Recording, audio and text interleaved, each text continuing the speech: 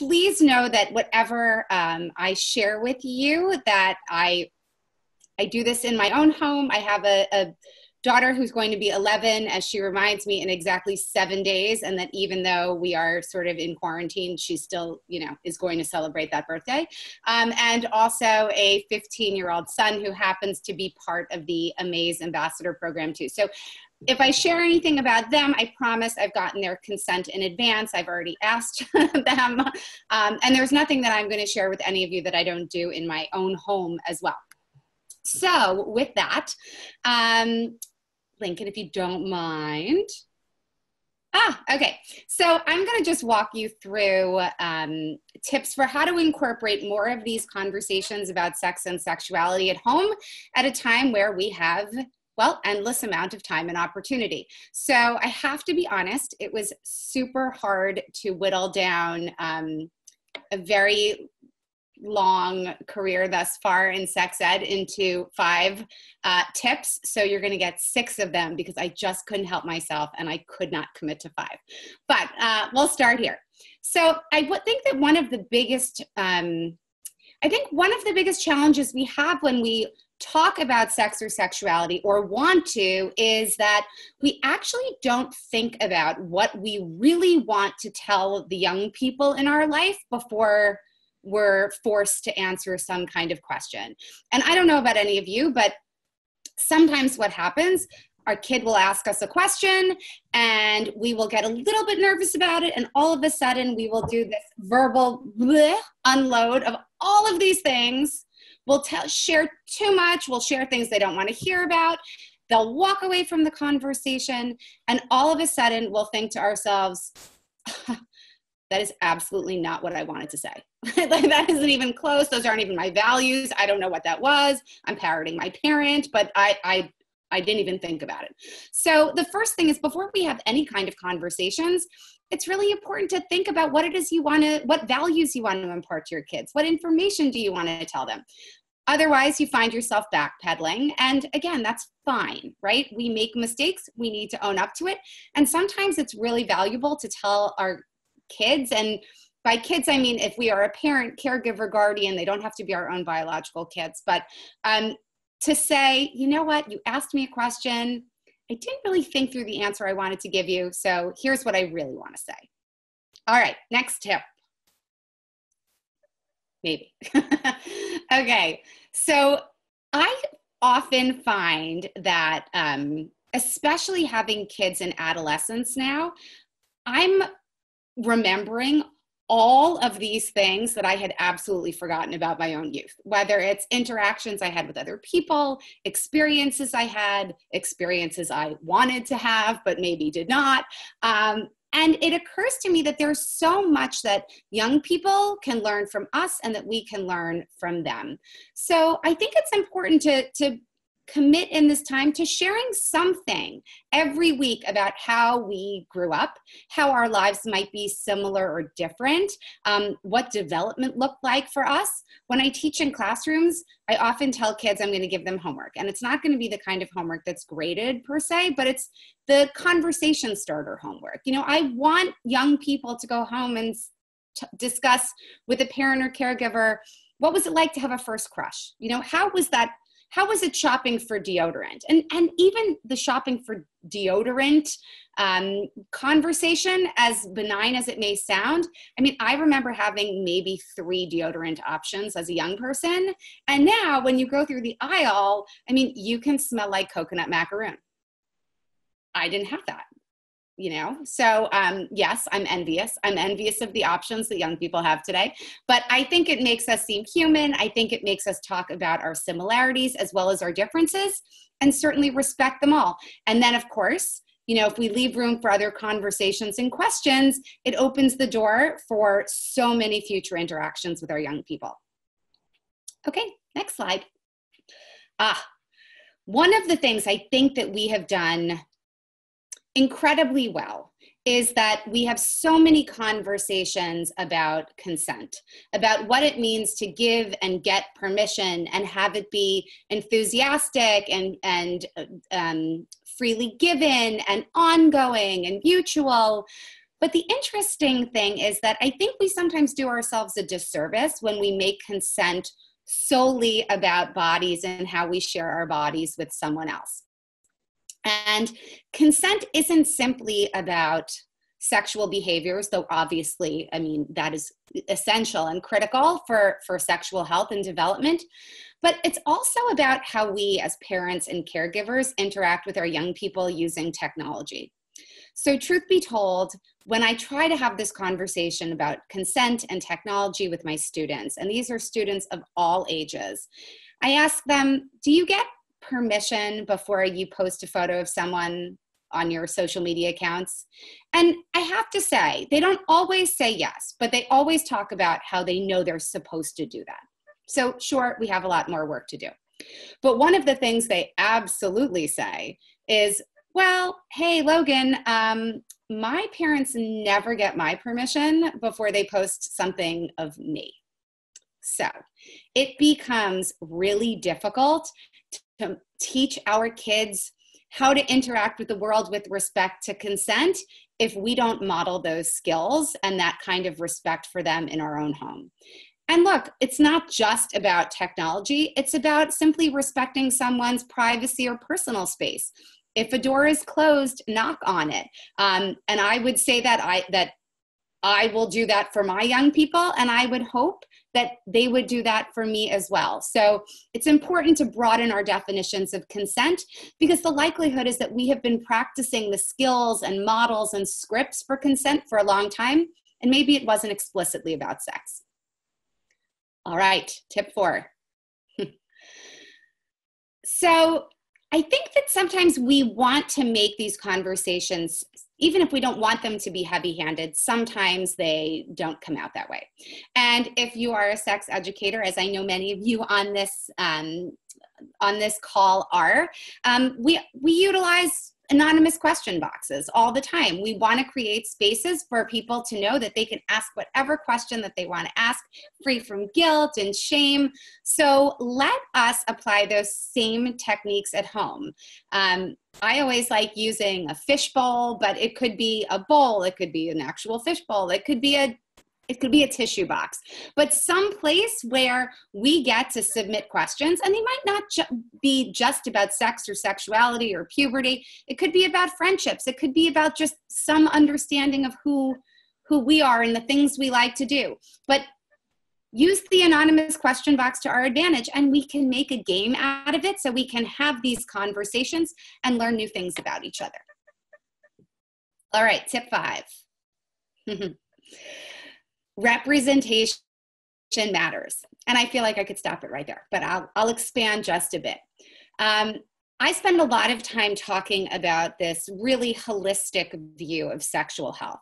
When I was growing up in the time of um, when, when HIV and AIDS was finally being publicly discussed as a virus that didn't discriminate, um, you know, at, at that time, we my goodness, I forgot my train of thought for a second. But we weren't exposed to a lot of diversity. And sexual health isn't simply about what we do to take care of our own bodies. It is equally as much about the messages we get from pop culture and politics and the quality of our relationships and the access we have to information and services. And all of these things play a role. But what's equally as important is our emotional sexual health. And it is really hard to be emotionally, sexually healthy if you don't see yourself represented in your world, in the media you consume, in the things your family is consuming, or the things that your, your friends and peers are exposed to. So, this is a wake up call for us as parents or caregivers to be a little bit more thoughtful and a little bit more attuned to what our kids are exposed to. And I don't just mean about sexually explicit media, I mean, are they seeing diversity of gender and gender expression, race, sexual orientation, ethnicity, ability and disability, body shape and type? And if they are not seeing those things, then we need to do a better job at bringing all types of, of diversity into the media that they consume. We can watch them together, we can have conversations, we can have conversations about why people are not represented in media. Critical thinking skills are so important, and seeing yourself represented is a huge part of becoming a sexually healthy person. Okay, bonus tip time, because again, I couldn't commit to five. Perhaps one of my favorite um, tips or or sayings when I'm talking to my um, my parent groups is inevitably I will have someone say to me, Logan, I want to do all of these things, but they just don't want to talk to me. They'll roll their eyes, they'll earmuff, whatever it is. And my comment is always this mm, that's too bad for them. and I don't mean it as a punishment for young people, but really what I mean to say is that these conversations are truly about us. When we signed up in some way, and I'll use the word sign up in quotation marks, um, to become a parent and caregiver, we made certain promises. We made certain promises to do things differently, to really raise sexually healthy, thoughtful young people. So that's okay, honey. You I know it. You you know it all already and you might not want to hear it from me right now, but it's okay. This actually isn't about you. It's about me. I need to send you off in the world knowing that I have fulfilled all of my promises. And the funny thing is, when you frame it like that, it's really hard for young people to respond with anything negative because we put the pressure and the onus back on us and not on them. So, with that, I think I have done enough talking for right now. But now that we've covered the basics regarding talking about all issues of sex and sexuality, Janae, I would love for you to share your tips and guidance on dealing with mental health strategies in this time of social isolation. Oh, thanks so much, Logan. I was sitting here like, oh, tips. I am going to go back and make sure my parents um, follow you and keep up to date with this amazing org. Um, so, yeah, during this time, there's a lot happening in terms of being quarantined, and a lot of kids and teenagers are feeling so isolated away from everything, and they are just so upset that they are basically home with their families um, because they want to be with their friends. So, I'm just going to talk a little bit about mental health and how to support your child or your teenager during this quarantine time. And we're going to go ahead and get started. All right. So, tip number three, I created a whole lot of tips because my brain was just moving. So, Lincoln, thank you for picking the ones that you felt would be appropriate. Um, so, I want you to have a conversation about a new normal. One of the things that I've been talking to a lot of my teens about is life probably isn't going to go back to the way that it was. And it's important to have a conversation about the world that we once knew it is gone. You know, this is a unique opportunity to create new customs in your family. And creating new traditions will allow for a more rewarding experience while everyone is at home. So I think it's really a good opportunity to say, okay, hey, let's stop. Let's think about what we normally do. Are there some things we can change? Do we have to always eat this? Can we try to eat something else? Can we try to actually have a movie night or a game night? Our schedules are a little bit different now. Can we do something different? Let like just take some time to evaluate if the way that your family has been connecting works right now. And again, it's a good opportunity to bring your children in and say, hey, what would you like to do differently? Um, what would you like to eat for dinner tonight? What type of games would you like to play? And that helps, again, to create a more rewarding time with your family because you're trying something new together versus everyone trying to acclimate to a schedule that's probably a little chaotic right now, especially if you have a bunch of little ones and everybody's trying to be on the computer. Wi Fi is crashing all day long because of school and work. And so it's a good opportunity to create some new customs and traditions in your family. So have a conversation about a new normal. Um, Lincoln, next tip. Thank you. Ah, fun. Listen, fun doesn't happen enough, in my opinion. and I wish we embrace a little bit more fun.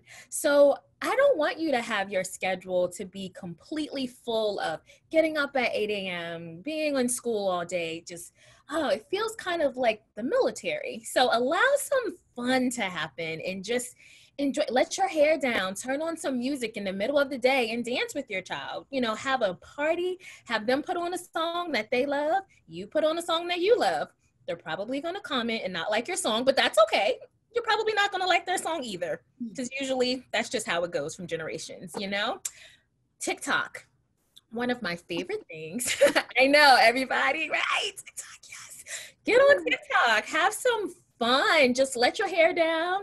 You know, it's just a lot of a lot of moves, but you know, just go for it. Have a good time. Allow them to have fun time and don't interrupt that fun time. So many times I will hear a parent or a child or a teen say, I was out hanging with my friends and then my parents or they told me that I had to come back and I had to do this chore. Don't interrupt the fun time. If the fun time is going to be for an hour or two hours, let fun time be for an hour or two hours. Trust me, having that boost is going to allow them to get right back into their schedule and pretty much listen to whatever you say because now they feel really happy and excited that they got to have some fun. Uh, all right, Lincoln, next tip. Uh, you did it already, or at least my eyes are not working. One, one of the two is happening here. Um, so this is a really important mental health tip because loss is very, very, very visible and present in our world today with the virus and everything that is happening with um, Corona. So, in terms of processing and grief and loss, it's really important just to acknowledge that there is a loss whether it's a loss of time spent with friends, whether it's a loss of, you know, I feel so bad for eighth graders and high schoolers who may not get to have their actual graduation, a loss of trips and just family activities, so many different things. Some kids actually like school, believe it or not. And so they may feel that they're not connected with their academics and they're missing out on things. And so it's really important just to allow sadness to happen there are some t- your teammate your teen or your child may need a mental health day. They may need a day just to kind of lay around be in their bed sleep and maybe they just want to talk to their friends and they just want to grieve the loss of not being able to be with their friends and connect. And so you know, allowing that to happen and not, you know, being too forceful or, um, as some people will call it, like toxic positivity, um, always just so optimistic as if things don't suck. If they think it sucks, let them think that it sucks. They may not think it sucks forever, but it's okay for them to let, you know, feel that it sucks in that moment. Um, and just understand that mood shifts are expected during this time and they really just need some embracing and a bonus there is to acknowledge the loss that you are experiencing as a parent, because I think a lot of parents tend to, you know, want to keep themselves elevated and act like they have it all together. And it's just such a trying time. I think it's really important to even acknowledge to your child that you are experiencing some loss as well. You probably miss some of your coworkers that are obnoxious at the coffee machine or something. Who knows? But it's okay just to acknowledge that you miss them and that you are also experiencing some loss during this time. Oh, next tip. All right, state facts about the pandemic. So, what I have found to be really interesting, um, as I'm sure most of you have, there's a lot of reporting around the virus, around what's happening, around what we should do, around what we shouldn't do. And I think the best thing we can do is just to pick one trusted source to provide information to your family and only check it once a day just so that you can keep yourself grounded, you can keep your children grounded, and you're not bombarding yourself or your children with all of this information. Um, most parents, all of that information you're receiving, you're probably giving it back to your child. And even if you're not verbally saying something, if you are subconsciously anxious or consciously anxious because you're reading a bunch of information, your interactions with your children may also reflect that and they may not know what's wrong, but you are frustrated, you're anxious, you're worried, and then that again translates to them. And it's important to be very mindful of that. And the best way to do that is to not consume as much information and pick a source that you feel confident when you read it. So you know there are a lot of different news sources out there but i'm sure you all read some news sources and you get you know knots in your stomach because you're like why are they reporting like this? What is this? I, what? What? Oh no you know and twitter fingers and all kinds of stuff and you're on facebook and all that. So if that's the kind of news source you're looking at, that's probably not a good one because it's creating a bodily reaction of anxiety. So you want to pick a news source that you feel that you trust the facts, you trust what they're sharing, and again, you just want to check that once a day. And the facts are really going to be essential for you and your youth so that they have a sense of understanding of what's actually happening and so that can ground them during these uncertain times. All right, Okay, well, there you have it. Those are a few of my tips for um, quarantine mental health, if you will. I feel like that should be a new term, quarantined mental health. I'm, I'm sure it will be. That was that was amazing, and I, I keep thinking that um, there's a lot of work that I have to do. Um, I will say we do we do have very intense Scrabble tournaments. We have we have definitely set that up like family competition time. Um, but I I I do make them get up for school, so maybe um, maybe I should like hold back a little bit. So thank you for that. You you've given me the the rationale that I need. Awesome. You know, every once in a while you need a mental health day or even taking a break in the day. So if you and all, you know, your family, they're getting up early for school or work, maybe just eating lunch together. Deciding, okay, I'm gonna have lunch with my child. I'm gonna take a break from work and have lunch and just act like it's the cafeteria, you know? Say, hey, let's tell me all the gossip. you know, what's going on on Snapchat? What's going on on TikTok? And them keep you all the way updated with the teen and the children juice.